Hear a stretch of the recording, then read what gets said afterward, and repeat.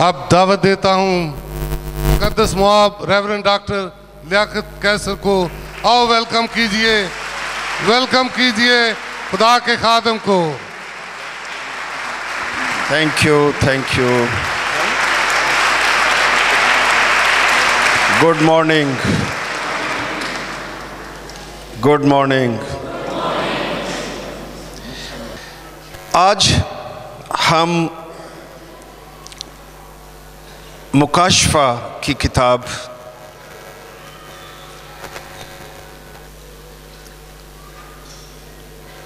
में से चंद एक बातें देखेंगे। मेन बात, मुकाशफा की किताब हमें बताती है खुदामंद यसु मसीह तख्त नशीन है। Hallelujah the enthronement of Jesus Christ. Jesus is on the throne. Hallelujah. ये बड़ी खूबसूरत किताब है सारी हिस्ट्री का क्लाइमेक्स इसमें है पदाइश की किताब देखें, उसमें बिगनिंग्स हैं, शुरुआत है कायनात की, इंसान की गुना की, फैमिली की, कौम की। मुकाशफा की किताब में पढ़े, तकमील है, क्लाइमेक्स है, अरूज है इख्ताम है। चीज़ें अपने कमाल को पहुँच रही हैं। कायनात भी, आदमी भी, कौमें भी, चर्च भी खुदामंद की हजूरी भी, सारी नबूवतें पूरी हो रही हैं। इट्स अ वंडरफुल बुक कईयों को शायद इसमें पिक्चर्स हैं, तशबीहात हैं, समझ नहीं आती, और यदा चिलाई कटन लग पे जो कि गलत है डिमोनिक है। कई तवीज बनाते हैं इस किताब के, खरे बरकत मिलेगी। ये सब डेवलिश बातें हैं इसमें फतह का मैसेज है कि यसु नासरी फाते है, गालिब आया है, तख्त पर बैठा है, हमारा खुदामंद है, हमारा निजात दहिंदा है, हमारा बादशाह है। तो आइए देखें, इस पूरी किताब के तीन हिस्से किए जा सकते हैं। वेरी सिंपल कुल 22 अबवाब हैं। 22 चैप्टर्स पहला हिस्सा है, पहला सीन है इस किताब के अंदर। उसमें पहले पाँच अबवाब हैं। इन चैप्टर्स में पहले पाँच अबवाब में आपको नज़र आएगा कि Jesus Christ is on the throne in heaven आसमान में यीशु मसीह तख्त नशीन है। और देखिए तीसरे बाब की 21 आयत। लिखा है, मसीह कह रहा है, जो गालिब आए इनविटेशन भी है और चैलेंज भी है। जो गालिब आए, मैं उसे अपने साथ, अपने तख्त पर बिठाऊँगा। जिस तरह मैं गालिब आकर अपने बाप के साथ उसके तख्त पर बैठ गया।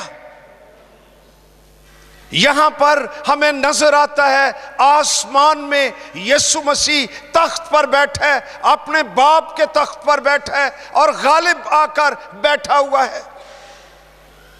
जिस तरह यीशु ज़मीन पर गालिब आया, गुनाहों पर, अबलीस पर, आजमाइशों पर इसी तरह चैलेंज है चर्च को, ईमानदारों को कि अगर तू भी गालिब आए तो यीशु कहता है, जिस तरह मैं अपने बाप के तख्त पर बैठा हुआ हूँ, इसी तरह मैं तुझे भी अपने साथ तख्त पर बिठाऊँगा।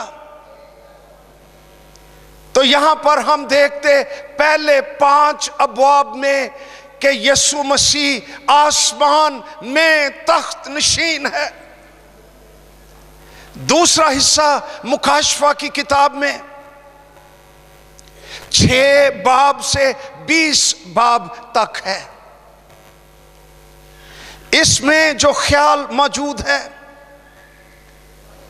वो ये है कि यसु नासरी ज़मीन पर तख्त नशीन है। The enthronement of Christ on the earth और फिर तीसरा हिस्सा है इसका। और वो लास्ट टू चैप्टर्स हैं 21 और 22 आयत। उसमें हम देखते हैं इन फ्यूचर न्यू क्रिएशन जब नया आसमान, नई ज़मीन होगी। और ये दो बाब में हमें नज़र आती, उस वक्त भी हमारा खुदावंद यसु मसीह नई क्रिएशन में भी तख्त नशीन होगा। तो ये तीन हिस्से हैं इस किताब के। तो पहले पाँच अबवाब पर हम नज़र करेंगे। इसमें हमें आसमानों से मसीह नज़र आता है। लिखा योहन्ना रसूल ने जिस पर मसीह ज़ाहिर हुआ आसमानों से, और वो हैरान हो गया, गिर पड़ा, मुर्दा सा हो गया, खौफ खाने लगा। मसीह की जलाली सूरत इस तरह की थी कि उसकी आँखें आग के शोले की मानद हैं। अंदाज़ा कीजिए, ये हमारा मसीह है। उसके बाल, उसका सर जिस तरह सफ़ेद ऊन होती है total purity this is our Jesus बिल्कुल मुकद्दस, पाक प्योर जीसस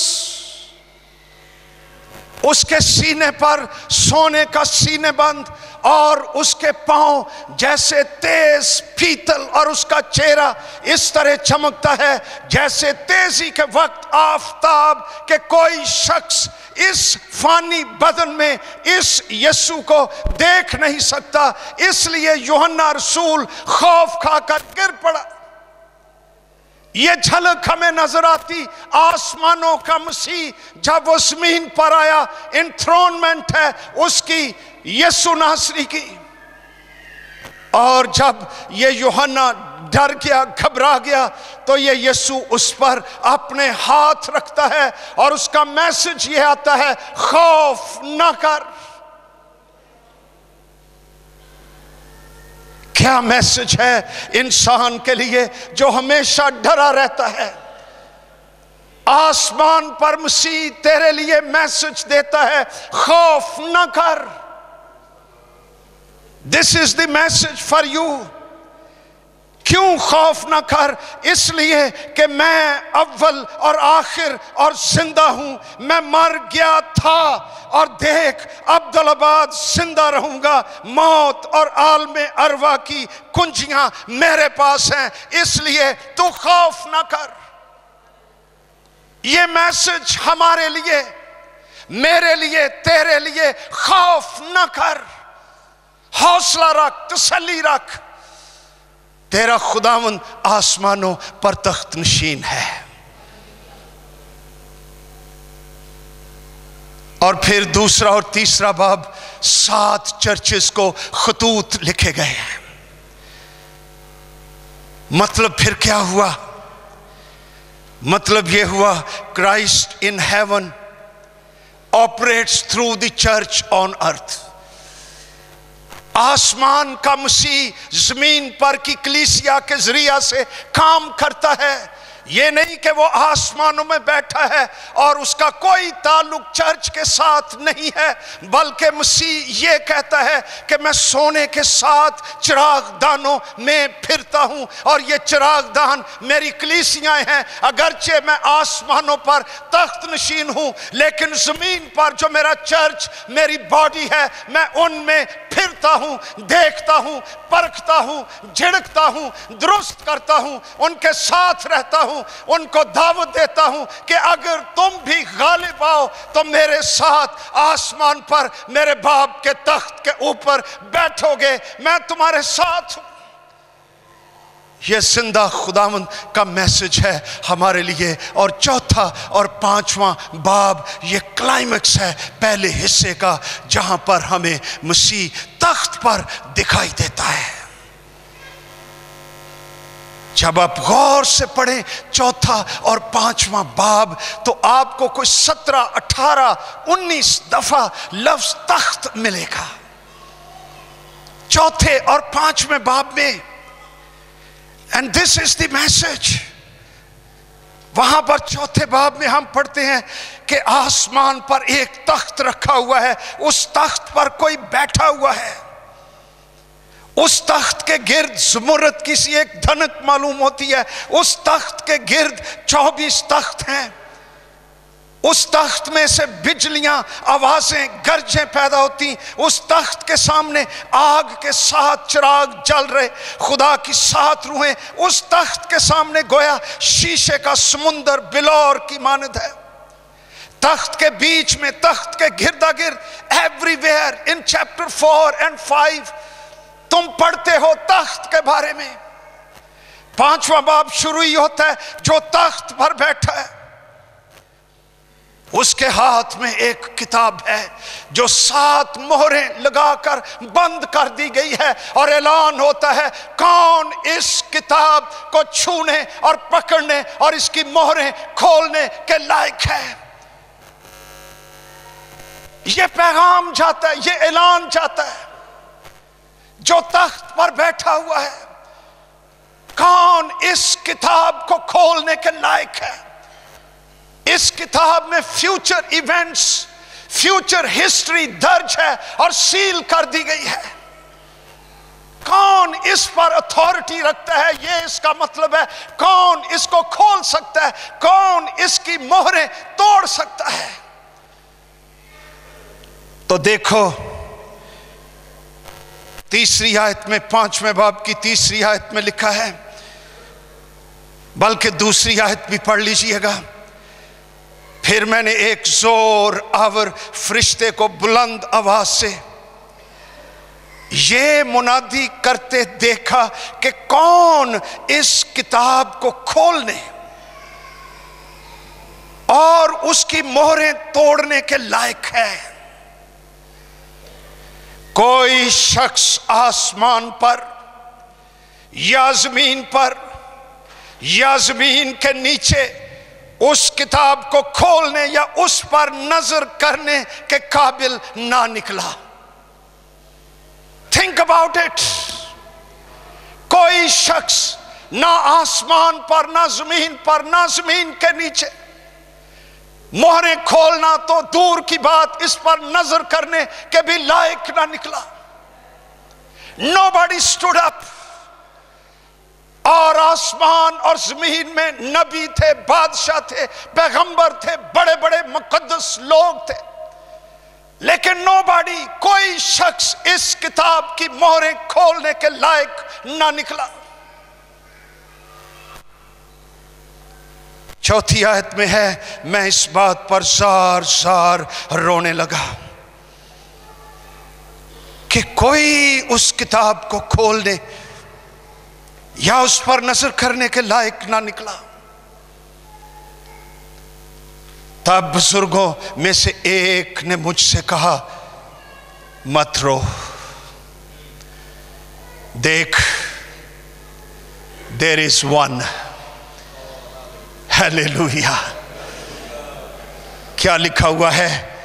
यहूदा के कबीले का वो बब्बर जो दाऊद की असल है, उस किताब और उसकी सातों मोहरों को खोलने के लिए गालिब आया। मैंने उस तख्त और चारों जानदारों और उन बुज़ुर्गों के बीच में गोया सिबा किया हुआ, गोया, अब जिबा हुआ नहीं, लेकिन गोया सिबा किया हुआ, एक बर्रा खड़ा देखा।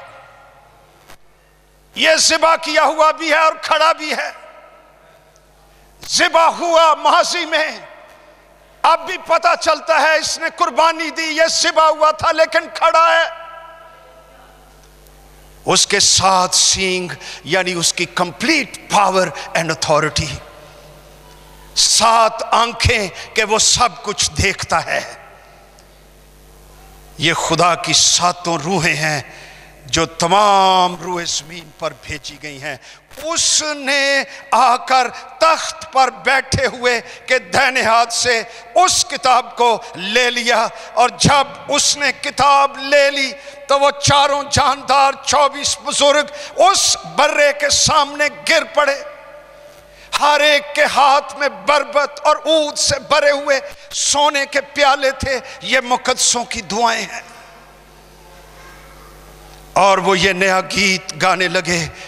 कि तू ही, ये लफ्ज ही बड़ा इंपॉर्टेंट है।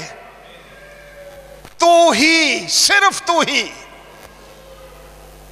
इस किताब को लेने और उसकी मोहरें खोलने के लायक है, क्योंकि तूने जबा होकर अपने खून से हर एक कबीले और अहले ज़ुबान और उम्मत और कौम में से खुदा के वास्ते लोगों को ख़रीद लिया और उनको हमारे खुदा के लिए एक बादशाही और काहिन बना दिया और वो ज़मीन पर बादशाही करते हैं। और जब मैंने निगाह की तो उस तख्त और उन जानदारों और बुज़ुर्गों के गिरदा गिर्द बहुत से फरिश्तों की आवाज़ सुनी, जिनका शुमार लाखों और करोड़ों था इमेजिन लाखों, करोड़ों फरिश्ते। वो क्या कह रहे हैं बारहवीं आयत पाँचवें भाग की? वो बुलंद आवाज़ से कहते थे, लाखों, करोड़ों फरिश्ते पावरफुल एंजल्स वो बुलंद आवाज़ से कहते थे कि सबा किया हुआ भर्रा ही कुदरत और दौलत और हिकमत और ताकत और इज़्ज़त और तमजीद और हम के लायक है। फिर मैंने आसमान और ज़मीन और ज़मीन के नीचे की और समुंदर की सब मखलूक़ात को, यानी सब चीज़ों को जो उनमें है, ये कहते सुना। जो तख्त पर बैठा है उसकी और भर्रे की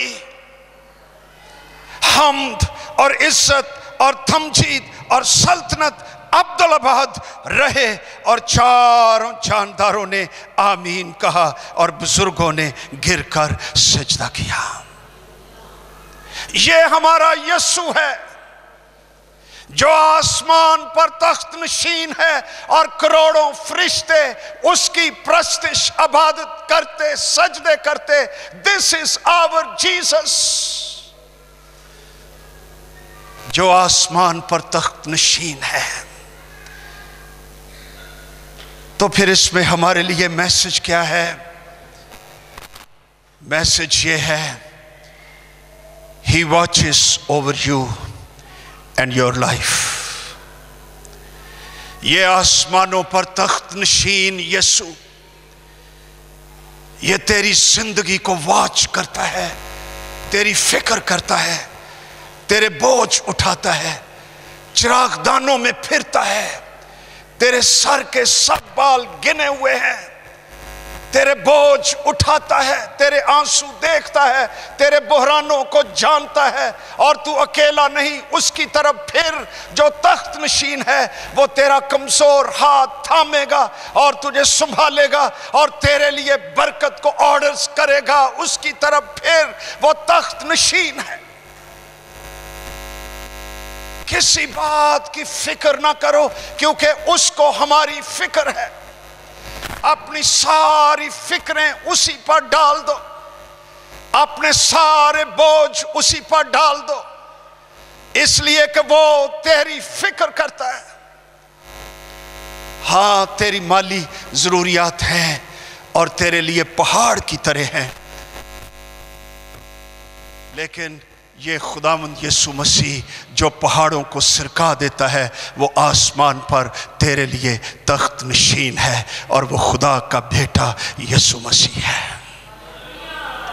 उसके नाम के लिए जोरदार था ग्लोरी टू जीसस हालेलुया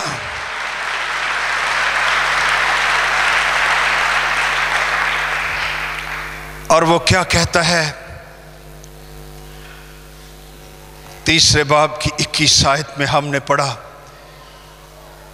जो गालिब आए, मैं उसे अपने साथ, अपने तख्त पर बिठाऊँगा।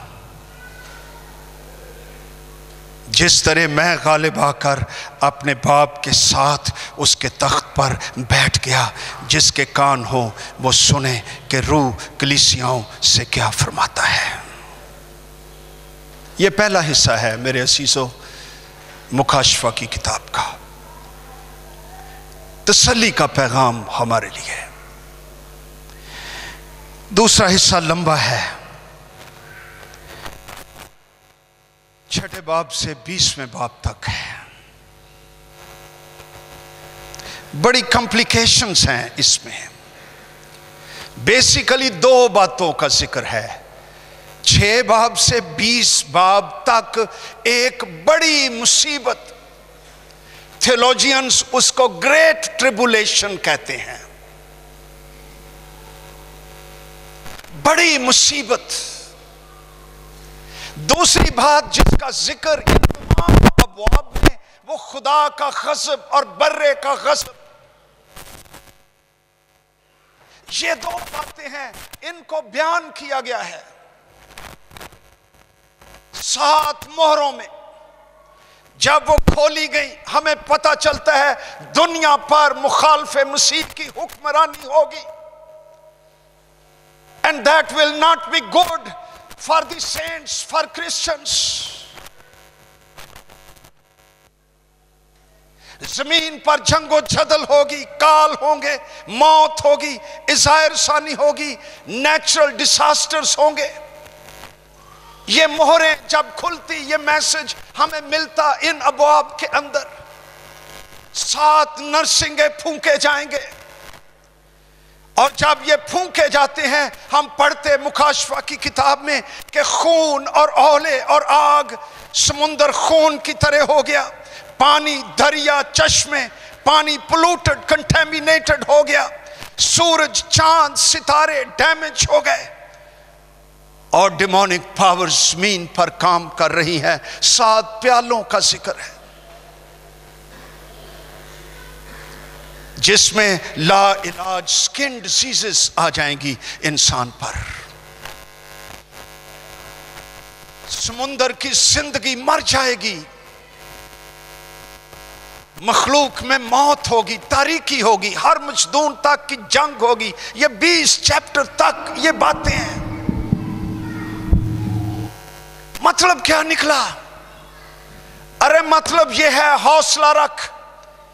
जब ये सारी चीज़ें आएँगी, ये अबवाब हमें बताते हैं कि तेरा यस्सु ज़मीन पर भी तख्त नशीन है और जब हालात खराब हो जाएँगे ज़मीन पर, तुझे घबराने की ज़रूरत नहीं, क्योंकि तू अपने खुदामंद के महफूज हाथों में है और तुझ पर उसका खून लगा रहा हुआ है और वो तख्त नशीन है और तुझे घबराने और डरने की ज़रूरत नहीं है। हेलेलुया। मुकाशफा की किताब ग्यारहवा बाब, पंद्रह से सत्रह आज तक देख लीजिएगा। इन मुसीबतों के दौरान एक आवाज़, एक बड़ा हौसला अफसा पैगाम खुदा के लोगों के लिए लिखा है, जब सातवें फरिश्ते ने नरसिंगा फूका तो आसमान पर बड़ी आवाज़ें इस मजमून की पैदा हुई। मजमून की ये आवाज़ आदा, वो सुनो और पढ़ो। कि दुनिया की बादशाही दुनिया की ज़मीन पर ऑन अर्थ हमारे खुदावंद और उसके मसीह की हो गई। हेलेलुया और वो अब्दुल आबाद बादशाही करेगा। दुनिया की बादशाही हमारे खुदामंद की हो गई और वो दुनिया पर अब्दुल आबाद बादशाही करेगा।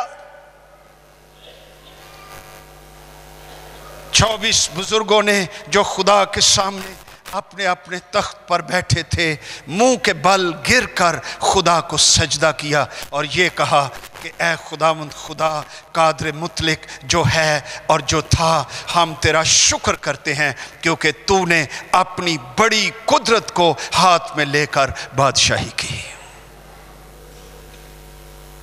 इन्होंने तो शुक्र किया कि हमारा खुदावंद ज़मीन पर बादशाही करता है। हम क्या करते हैं? क्या हम भी कहते हैं, खुदावंद, तेरा शुक्र हो तो बादशाही करता है। और मैं तेरे हाथ में महफूज हूँ। मोरा टुटन, प्याले आन नरसिंगे फूके जान, काल पै जान, बीमारियाँ आ जान, बड़ा कुछ हो जाए। मैं तुझ में हूँ। मुझे कोई डर नहीं, क्योंकि मेरा खुदा सल्तनत करता है और बादशाही करता है। हालेलुया।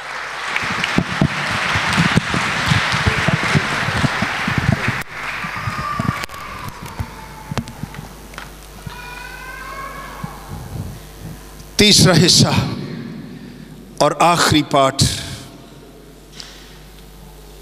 बीस, इक्कीस और बाईस बाब, दो चैप्टर्स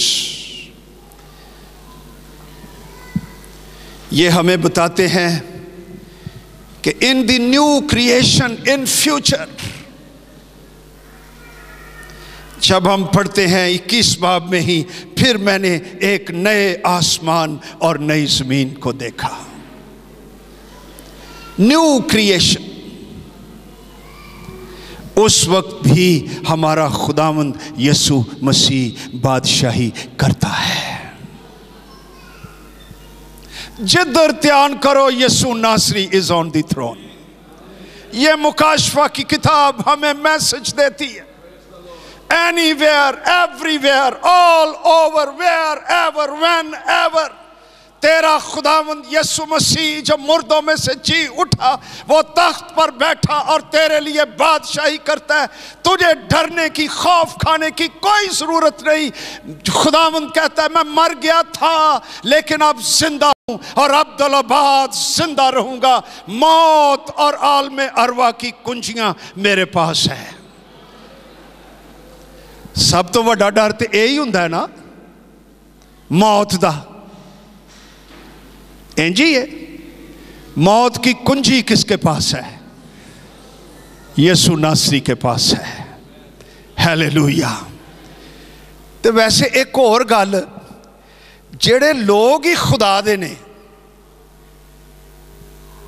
ਜ਼ਿੰਦਾ ਰਹਿਣ ਤੇ ਮੌਜਾਂ ਮਾਨਣ ਮਰ ਜਾਣ ਤੇ ਠੱਕ ਕਰਕੇ ਮਸੀਹ ਦੀ ਹਜ਼ੂਰੀ 'ਚ ਤੇ ਡਰ ਕਾਦਾ ਇਹ ਮੌਤ ਫਿਰ ਕੀ ਹੋਈ मौत के बारे लिखा हुआ है ए मौत तेरा डंक कहां रहा ए मौत तेरी फतह कहां रही तुझे भी यसु नासरी ने शिकस्त दे दी हुई है और वो मुर्दों में से जी उठा है हालेलुया ग्लोरी टू जीसस ਇਸ ਲਈ ਦਸੰਬਰ ਦੇ ਮਹੀਨੇ 'ਚ ਵੀ, ਹੈ, ਜਦੋਂ ਖਰਚੇ ਨੇ, ਹੈ ਨਾ ਖਰਚੇ? ਕੁੜਮਾਂ ਤੇ ਜਾਣਾ ਗਿਫਟ ਲੈ ਕੇ ਜਾਣੇ ਨੇ, ਇਹ ਖਰਚੇ ਅਸੀਂ ਆਪੇ ਹੀ ਮੁਸੀਬਤਾਂ ਪਾਈਆਂ ਨੇ। ਹਾਏ, ਨੱਕ ਨਹੀਂ ਰਹਿੰਦਾ, ਫਿਰ ਸੁਣ ਕੇ ਆ ਵੀ ਨਹੀਂ ਜਾਂਦਾ ਬਾਅਦ 'ਚ। ਜਾਣਾ ਆਉਣਾ ਦਾਰ ਕਰਜ਼ੇ ਕਮੇਟੀਆਂ ਫੀਸਾਂ ਕਿਰਾਏ ਇੱਥੇ ਜੋ ਮਰਜ਼ੀ ਕਹਿੰਦੇ ਰਹੋ ਹਾਂ ਹੋਏਗਾ ਯਿਸੂ ਤੱਕ ਤੇ ਮੈਨੂੰ ਤੇ ਪੈਸੇ ਚਾਹੀਦੇ ਨੇ अरे वो यहोवा यरी है सोना उसका है चांदी उसकी है जमीन उसकी है आसमान उसका है हालेलुया ਇਸ ਲਈ ਚੁੱਪ ਕਰਕੇ ਸਹਿਮੇ ਸਹਿਮੇ ਨਾ ਫਿਰਿਆ ਕਰੋ ਮੈਨੂੰ ਜਦੋਂ ਕੋਈ ਇਮਾਨਦਾਰ ਨਜ਼ਰ ਆਂਦਾ ਨਾ ਸਹਿਮਿਆ ਸਹਿਮਿਆ ਕੁੱਬਾ ਕੁੱਬਾ डिप्रेस्ड ਜਿਹਾ मैं समझता हूं ये मेरे खुदावंत की तोहीन कर रहा है नो ये उसकी तोहीन कर रहा है ये उसकी रसवाई है ਜ਼ਮੀਨ ਤੇ ਨਹੀਂ ਮਾਨ ਕੋਈ ਕਿੰਗ ਦਾ ਬੇਟਾ ਹੋਵੇ ਪ੍ਰਾਈਮ ਮਿਨਿਸਟਰ ਦਾ ਹੀ ਬੇਟਾ ਹੋਵੇ ਤੇ ਉਹ ਟੁਰਦਾ ਹੋਵੇ ਮੁਰਝਾਇਆ ਜਿਹਾ ਮੁਸੀਬਤ ਚ ਪਰੇਸ਼ਾਨ ਆ ਇਹ ਹੋ ਗਿਆ तो आप क्या सोचेंगे क्या कहेंगे उसके बारे कोई प्रिंस हो और वो बहुत डिप्रेस्ड हो और कहता हो यार मेरे को एक हजार रुपया नहीं गा तुम पता की कहोगे और जा जाके शर्म कर ही कहोगे ना? वो तेरे को भी नहीं। तो या तो ये कलाम सच्चा है which I believe it is true या फिर असी सच्चे हैं। हमारा खुदावन तख्त नशीन है, और वो जलाल का बादशाह है, और वो बादशाहों का बादशाह है, और वो अव्वल है, आखिर है, अल्फ़ा है उमेगा है। इब्तदा है, इंतहा है। Hallelujah. Jesus Christ is on the throne glory to Jesus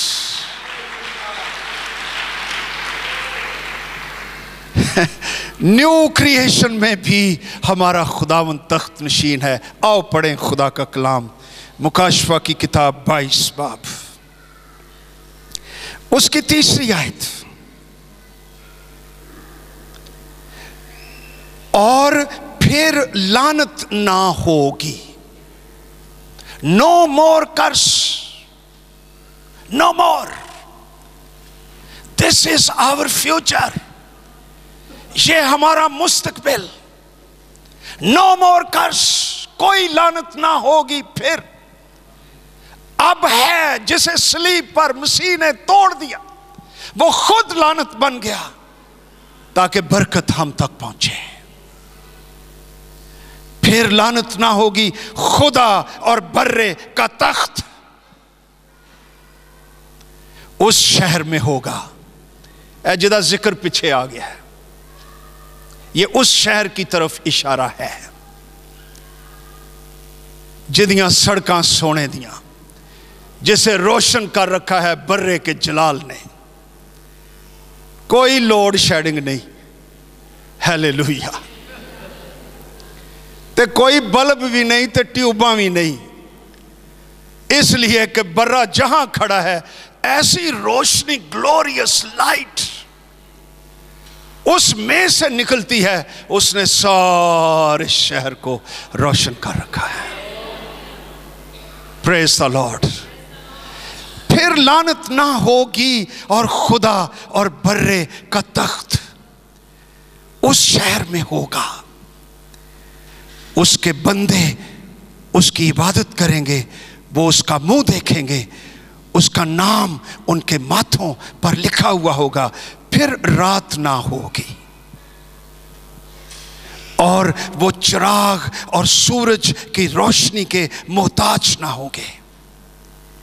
क्योंकि खुदावन खुदा उनको रोशन करेगा और वो अब्दुल आबाद बादशाही करेंगे खुदा के लोग भी अपने खुदावंद के साथ। लेकिन कौन इस शहर में दाखिल होगा? ये भी इसी चैप्टर में लिखा हुआ है। चौदहवीं आयत बाईस बाप की लिखा है, मुबारक हैं वो जो अपने जामे धोते हैं। क्योंकि ज़िंदगी के दरख्त के पास आने का इख्तियार पाएँगे। और उन दरवाजों से शहर में दाखिल होंगे। कौन जिन्होंने अपने जामे यसु नासरी के खून से धो लिए हैं? जो आ गए उसकी स्लीप के पास, जो पछताए अपने गुनाहों पर। और उन्होंने कहा, जीसस आई एम सॉरी मुझे मुआफ कर, मुझे धो दे। और वो कहता है, अगरचे तेरे गुना किरमसी हो, अरगवानी हो, कबीरा हो, सगीरा हो, विचकार हो। तेरे गुना बेशुमार हो, पक्के हो, धब्बे हो, दाग हो तेरी सारी ज़िंदगी पोलूटेड हो। खुदा तुझसे मोहब्बत करता है और उसका बेश कीमत, खून तेरी ज़िंदगी को, तेरे जमीर को, तेरे दागों को धो सकता है और तुझे निजात दे सकता है और तुझे इन दरवाज़ों से शहर में दाखिल होने का इख्तियार दे सकता है। पंद्रहवीं आयत में मगर कुत्ते जादूगर, हरामकार सेक्सुअली परवर्टेड पीपल जिनसी एतबार से अलूदा लोग, मगर कुत्ते, जादूगर जो अकल्ट्स में हैं, तवीज, धागे, टूने कब्रें पीर, फकीर जंत्रियाँ मंत्रियाँ काली ताकते जादूगर अकल्ट्स पुरस्कार अलूम दूसरों को कब्जा करने के लिए नुकसान पहुँचाने के लिए मजीशंस जादूगर हरामकार खूनी जो खून करते मर्डर करते बुत प्रस्त झूठी बात का हर एक पसंद करने और घड़ने वाला। क्या होगा? ज़ोर से बोलो। पता नहीं पंजाबी बंदा किमें कह देंदा है, असी थोड़ी पूछल फड़ के चले जाएँगे एक कलाम च नहीं लिखा एक कितने पंजाबी कल्चर की बाइबल च लिखा है बाइबल क्या कहती है ये बाहर रहेंगे हर एक झूठी बात का पसंद करने वाला जड़ा कहना सुना होर सुना यार साफ़ पता लगन दिया झूठ बोलन दिया लेकिन वह स्वाद लै रहा है वह सुन रहा है उन्होंने चस्का आ रहा है वह खुश है इस माहौल बड़ा राज़ी ये भी और झूठ घड़ने वाला।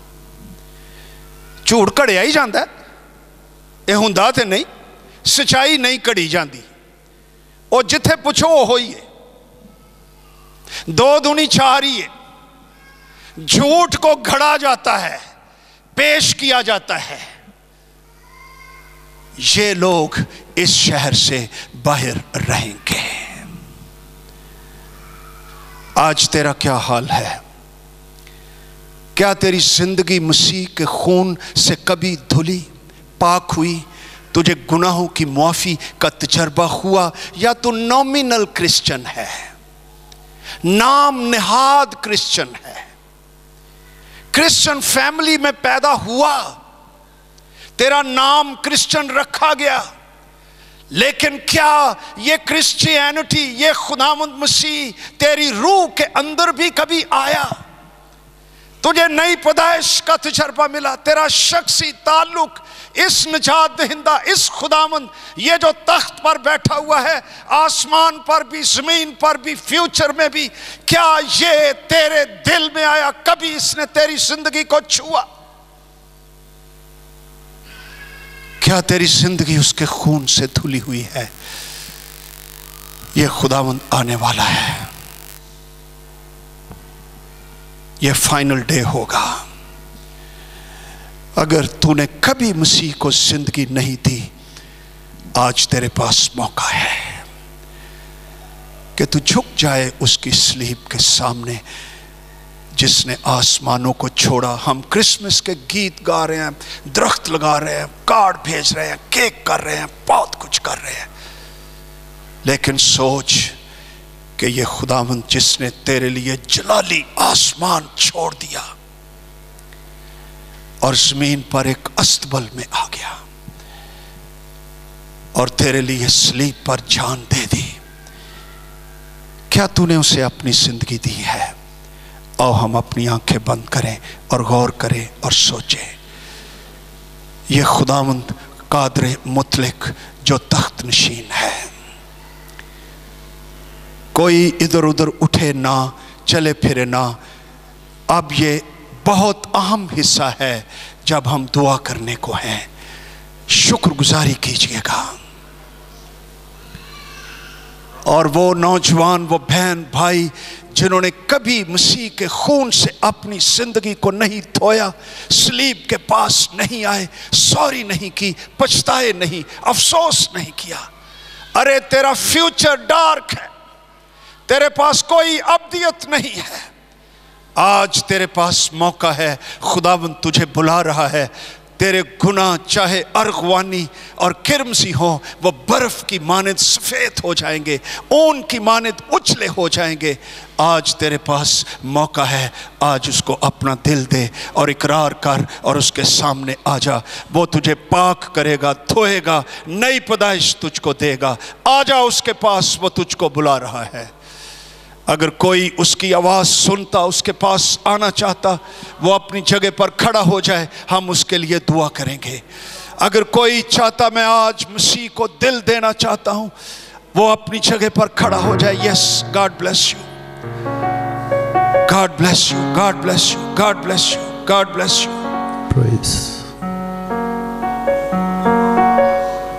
Yes God bless you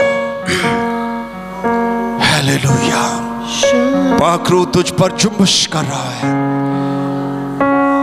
अगर तूने कभी मसीह को ज़िंदगी नहीं दी stand up on your seat hallelujah hallelujah ये मौकाओं का आखिरी। शुक्रगुजारी कीजिए बाकी तुझको बुला रहा है नासरी। धोखा ही धोखा संसार है। प्रभु यीशु का सच्चा प्यार है। आजा प्रभु यीशु के दर आजा जीवन मिलेगा तुझे आजा।